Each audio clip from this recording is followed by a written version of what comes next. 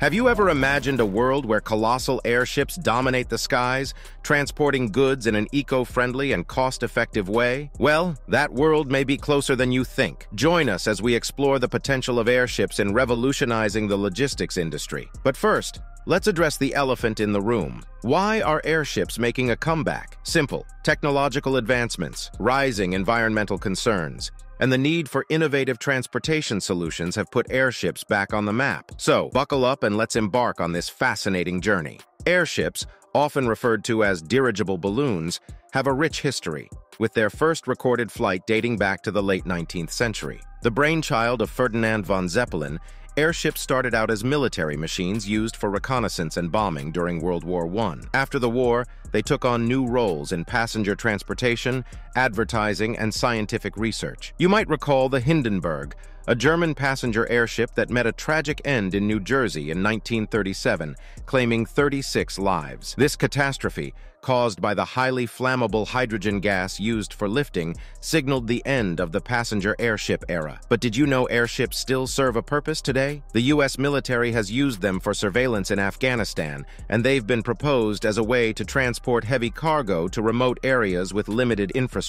Lately, airships have been turning heads for their potential to serve as an eco-friendly mode of transportation. Airships could reduce carbon emissions by up to 90% compared to conventional cargo aircraft. Emitting far less carbon than airplanes and possibly powered by renewable energy like solar power, airships could be the answer to a greener future. Airship technology has come a long way, making them a practical option for cargo transportation. Today's airships use non-flammable helium instead of hydrogen, which caused the Hindenburg disaster, and boast improved designs, lightweight materials, and enhanced energy efficiency. Companies like Flying Whales and Lighter Than Air, LTA Research, are leading the charge, creating a new generation of cargo airships that offer a sustainable, low-emission alternative for transporting cargo. Imagine a 656-foot-long helium-lift airship carrying up to 60 tons of cargo.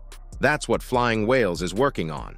These airships could transport heavy, bulky cargo to remote locations without roads or airports, while companies like H2 Clipper are exploring hydrogen as a lifting gas due to its lower cost and greater lifting power. Handling its flammability remains a challenge. However, Flying Whales assures that their airships will only use a small fraction of annual helium production, alleviating concerns over supply. Airships offer a greener alternative to conventional cargo transportation, emitting significantly fewer greenhouse gases. Plus, Plus, they require less infrastructure like runways and ports, which further reduces their environmental impact. Businesses could save big on fuel consumption and infrastructure needs, leading to lower shipping costs that benefit both businesses and consumers. Don't forget airships' potential to access remote or underdeveloped regions lacking traditional cargo transportation infrastructure. Airships could be valuable in places like the Arctic or parts of sub-Saharan Africa, where harsh conditions or limited infrastructure create delivery challenges. This could help businesses expand their reach, boost economic development, enhance the quality of life for local inhabitants, and facilitate disaster relief efforts and humanitarian aid delivery. Challenges include the need for significant investment in large-scale airship fleets and establishing regulatory frameworks for safe operation. While current airship models can reach speeds of around 70 to 100 miles per hour, traditional cargo aircraft can easily reach speeds of 500 to 600 miles per hour,